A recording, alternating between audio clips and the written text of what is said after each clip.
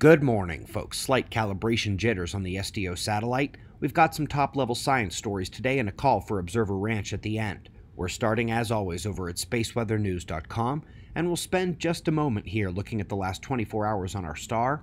No sunspots, no flares, no Earth facing filament eruptions, just a few coronal holes. The solar wind stream is easing back to ambient quiet levels right now, along with geomagnetic conditions, as we await the streams from those openings. We're heading right over to Malaysia for a geo event. Tidal waves smashed the northern coastal area, causing evacuations and destroying homes. Luckily, most even had time to gather critical items before their exodus. Let's ease into the science news with a very, very bright place to be. When you've got three stars and you orbit one at extremely small distance, you're going to need those sleeping masks covering your eyes to get any semblance of dark. A new survey of red dwarf stars tells us a lot about what's hiding in the dark in the nearby galaxy.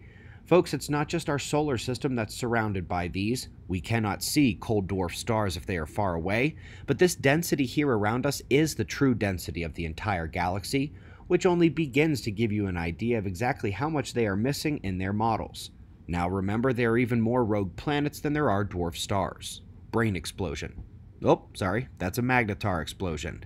They have identified a gamma signature from a nearby galaxy. It was a tremendous spike in photon energy, and they have determined that its spread is due to how the eruption shockwave material exited the star and interacted with the surrounding medium. This caused a dispersion of the signals, and that is actually what allowed them to realize it firmly fit their magnetar burst model for short gamma bursts rather than any other. Now, where's my climate axe? Number one science journal on Earth, reporting what we've been waiting for almost a decade. You melt the polar ice, you're going to trigger an ice age.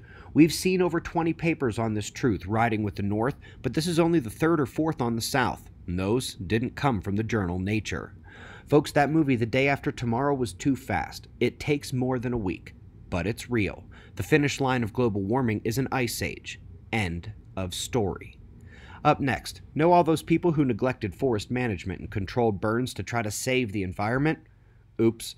Yes, as we've seen again dozens of times just this year, they are way underestimating the cooling power of atmospheric aerosols, but at least they're starting to realize it. Last but not least, a survey of solar forcing versus human forcing of the climate. Using geomagnetic indices rather than solar irradiance, we find the maximum global warming possible under the most sensitive models, which we've seen many times this year proven to be overkill, to be very small. And in reality, we are in for a major drop in temperatures coming soon. And this is not just because aerosols cool, CO2 sensitivity is biased, and the ice is melting at the poles to chill the rest of the world. But we had the 12,000 year maximum solar activity in the last century during global warming the sun is easing back from its grand maximum and we're at record low volcanic cooling, which can't last forever. Our future is cold.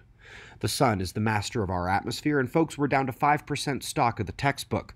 We will be removing it from the store Friday night. We greatly appreciate your support. For those who expressed interest in the parcels of Observer Ranch, you should already have your initial information email. For those who wanted to help, offer services, or work to build the future home of the observers, today is the day to email ben at observatoryproject.com. But please know, you have to live nearby or find accommodations. This is not a commune, and staying at the ranch during construction is a big no. Email if you are game and able. We've got wind maps and shots of our star to close. Subscribe because we'll do this all again tomorrow.